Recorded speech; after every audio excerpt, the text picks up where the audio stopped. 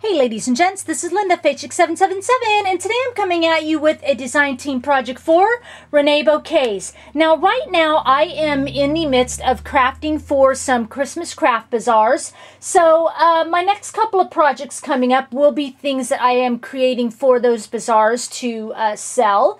And um, this project I decided to make a couple of uh, kind of winter themed shabby chic wall hangings. So I'm going to move my sign out of the way, adjust my camera a little bit, and show you what I came up with. Okay, let's go up just a little bit. And down a little bit. I made, um, they're both the same type of uh, wall hanging, but I just kind of did some different embellishments on each one, but pretty much the same design. So I will go ahead and bring this in first. Okay, just a little bit more. So as you can see, I just think it turned out super sweet. I created a little mitten um, a little mitten wall hanging. And the mitten is just from the top of the mitten down is a about nine and a half, nine and three quarters inches long.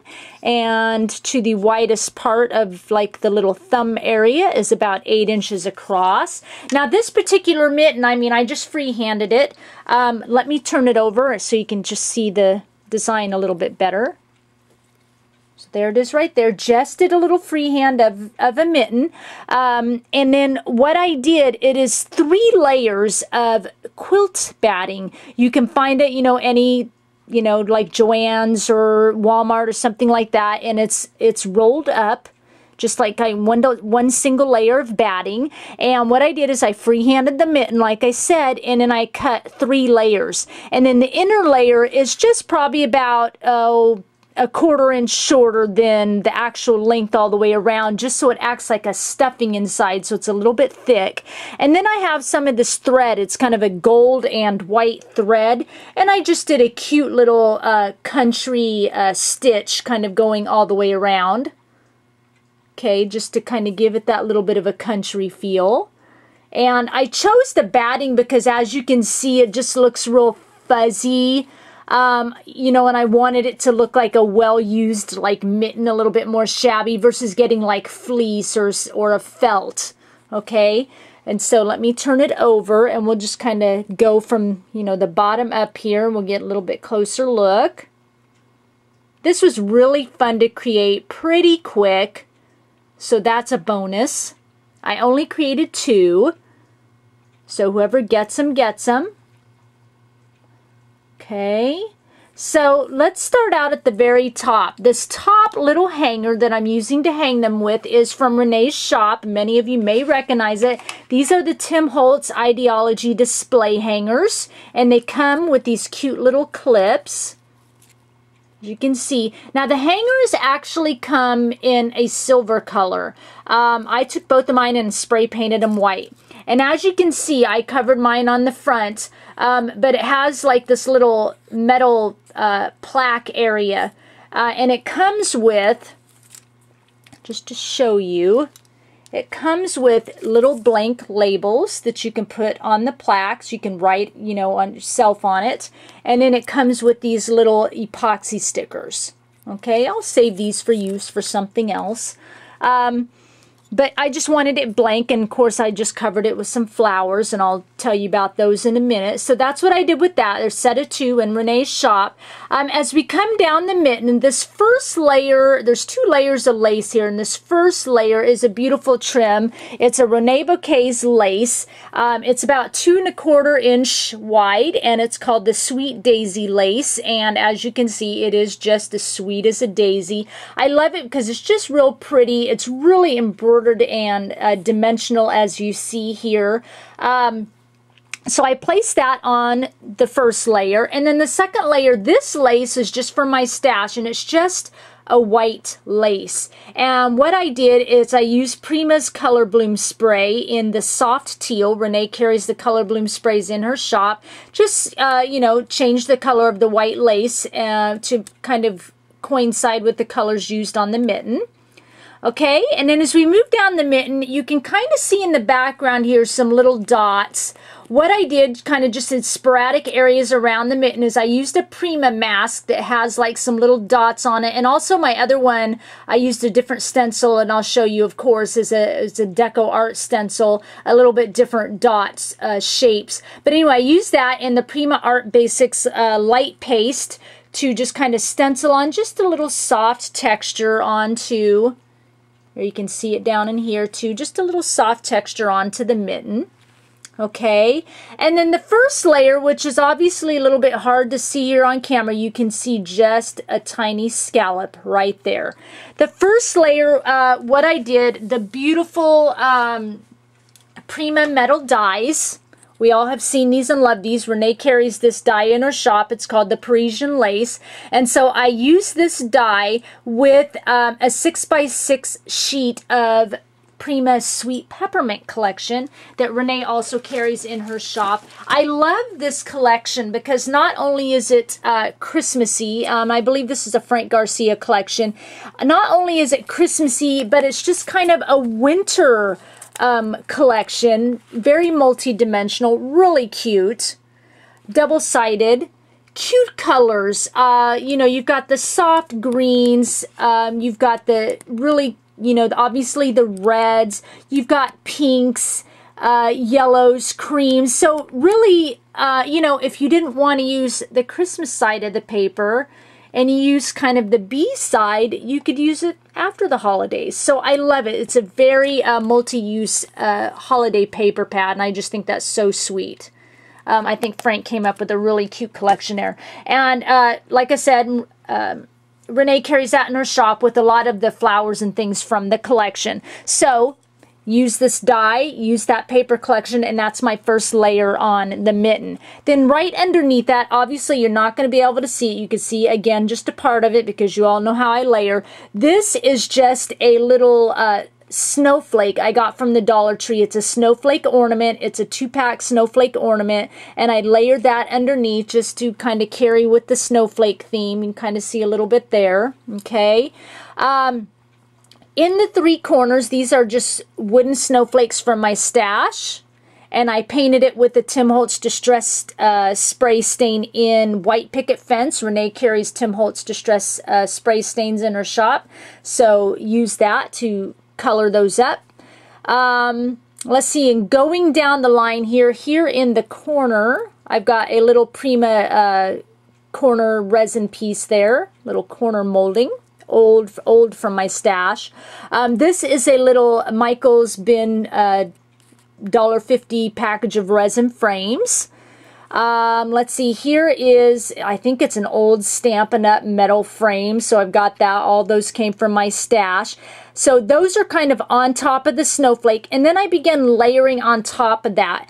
This is a Renee Bouquet's chiffon flower, just gorgeous. She carries, they come in a set of three. She carries many colors. This is the Celadon color. It's kind of like an aqua, um, teal color. I I would more say it's a teal color, but you could kind of make it in in the um, oh what was I saying? Aqua and teal is kind of the same mint green because I paired this with kind of some mint greens as well and it works beautifully but it kind of is in more of the teal colors. It comes with the beautiful pearls and blings on there.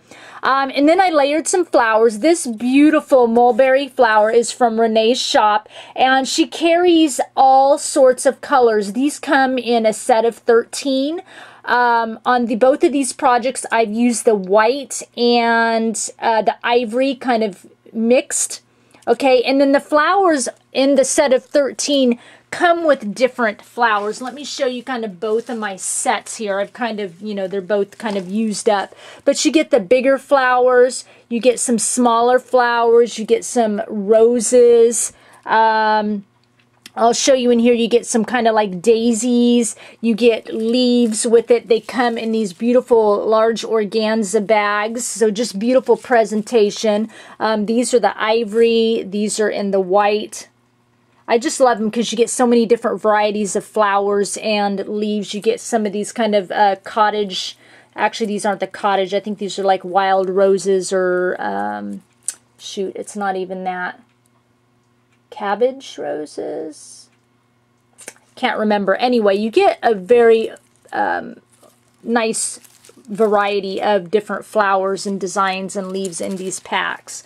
Okay, so I layered that in there, and then I also layered, you know, how I love my rolled roses. It's from Prima Rolled Roses, um, probably from Garden Fable collection because I have a lot of packages of those. And then I layered in um, down here in the bottom this kind of see and why I said this is like a teal and then the flowers from the sweet peppermint collection are kind of a little bit of more of a green hue but they go together.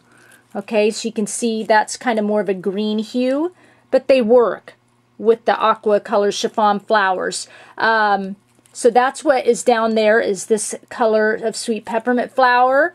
Um,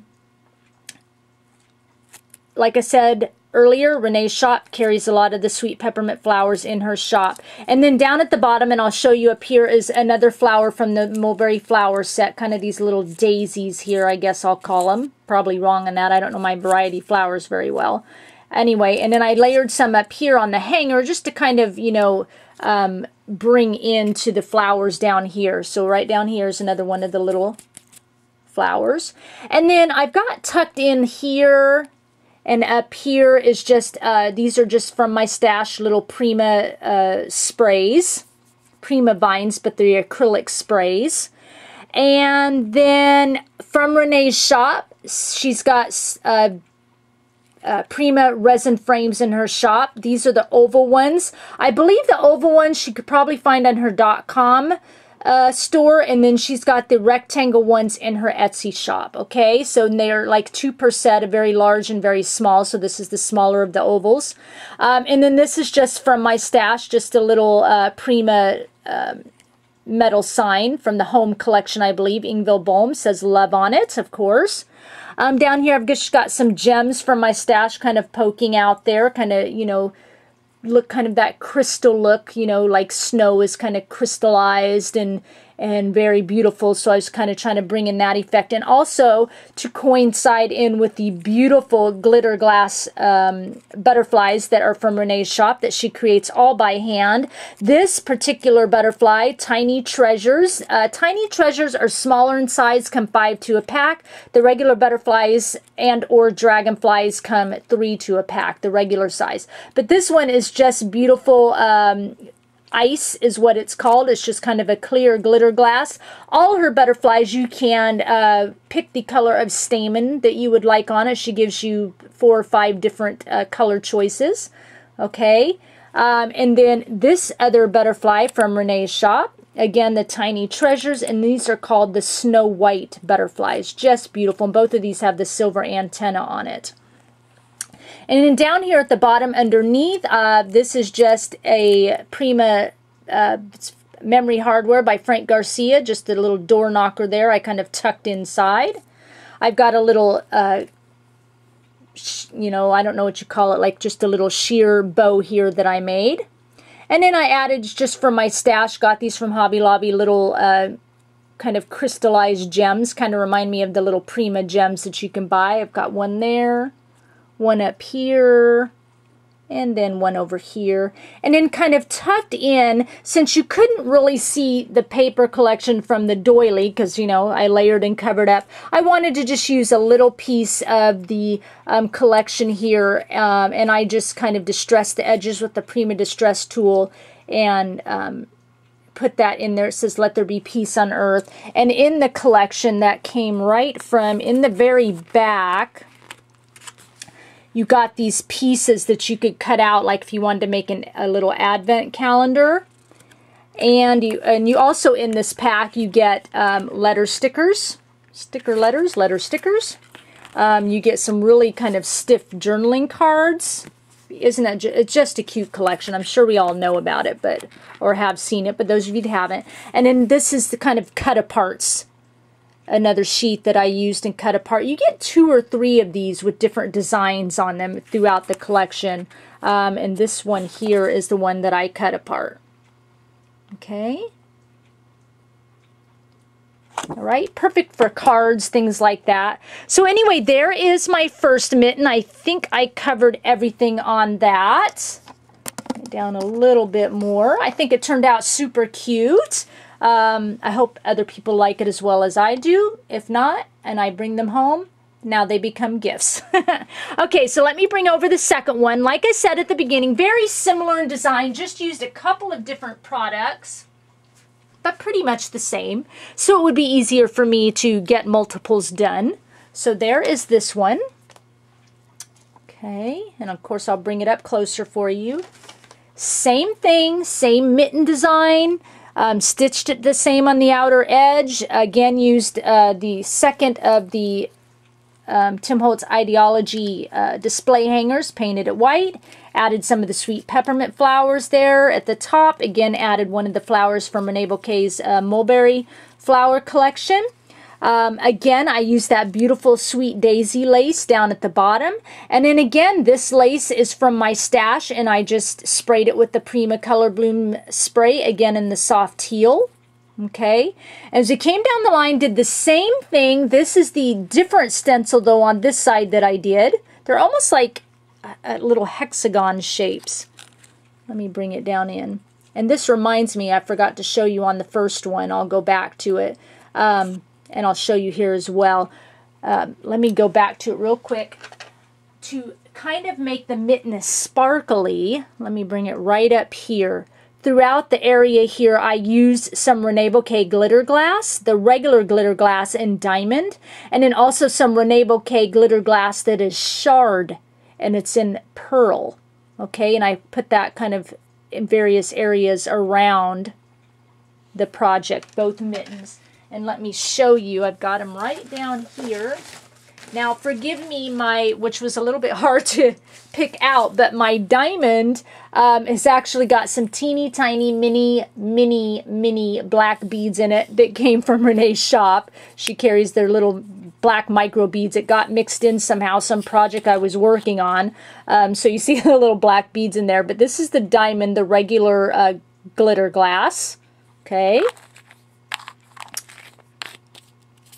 And then this is the pearl, the shard glitter glass. Okay. And then this one, this one, um, as you can see, it's got fuzzies in there. Cat hair. This one fell all over my carpet and I'm scooping it up like a madman because I, you know, don't want to lose any of it. But anyway, it just looks like shard and I thought it looked like really neat kind of a snowy effect. So I put some of that on both of the mittens. Okay, all right, so there's that. So back to this mitten. So again, I did, and you could see the masking all over the mitten. Again, here you can see a little bit more of the die cut with the that Parisian lace Prima die, um, and using the Sweet Peppermint collection again. Okay, um, again with the wooden snowflakes from my stash, I painted with the Tim Holtz uh, Distress Spray Stain. Picket Fence. Okay, let me go up it just real slow. I don't think I did that to start with. Okay. So at the very tip top right here, this is some cute Rene Bouquet butterfly trim. Um, it comes in a yard. You could cut the little butterflies apart. They're so adorable. Have the little antenna on it and everything. Okay, just so cute. I love to cut it apart and use versus using it as like a piece of lace. Um, so there's that. Um, again, used, you know, the $1.50 resin frame, $1.50 bin at Michael's. Um, these are sweet peppermint uh, flowers Renee carries in her shop. Just really the fabric flowers, and they have the real pretty gem in the center. And these are called Christmas morning flowers. Um, let me see if I have them right down here or a version of a few of them left. Here they are. Let me grab them real quick. They come in a package of six, I believe. Yeah, package of six. But they look like this. Really cute fabric flowers with the gems in the center. Okay, so that's what those are. And then as you come down the line, I again put in the Renee Bouquet mulberry flowers in here. This is just a Wild Orchid Craft Wild Rose from my stash. Um, this is another set from Renee's Flowers. I've got another rolled rose in here uh, from Prima Garden Fable collection. This angel is from my stash. It's just a Prima resin angel. And then on the wings, trying to get in there, I put some of that shard on the wings. So it's probably going to be a little bit hard to see, but I've got some of that uh, Renee Bouquet's glitter glass shard on the wings. Okay, added a little sheer bow in here. Um, again, added the little, you know, memory hardwares piece and tucked in there these little flowers as Prima flower trim just from my stash. I've got it there and then tucked again over here. And then again, I added just another little cutout from the Sweet Peppermint collection. It says Merry and Bright. And then, of course, added the little gems again. Okay, and one over here. And then, of course, um, another beautiful Renee Bouquet's butterfly. This again, as I said earlier, is called Ice. And then you can see like it's sparkling down here. Added the Renee Bouquet's glitter glass and diamond. And all I use is 3D matte gel. I uh, paint that onto my project, pour the glitter glass over the top, shake off the excess, and it just leaves this beautiful uh, shimmer. Kind of gives it a romantic soft touch, I think. Let me see. Oh, and then right over here, of course, this is from my stash. It's a Prima Junkyard Findings uh, light bulb. It says Believe on it. Just to kind of tie it all together. So I think I got all of it. Yep, that's it. Oh, and of course, again, underneath, use the little uh, snowflake from Dollar Tree there. It's actually a pretty big snowflake. I should have got one out to show you, but it's probably about that big snowflake, really thick and it's white and it's glittery. Okay, so those are my two mittens that I created. I think they turned out super cute. I had a blast using, you know, the Sweet Peppermint collection and kind of making shabby chic wintry. I will have all the links down below to everything Renee Bouquets, as well as links to my Pinterest and blog, so you can see more close-up photos of my projects. I thank you for sharing your time with me, and I'll talk with you again soon. Bye.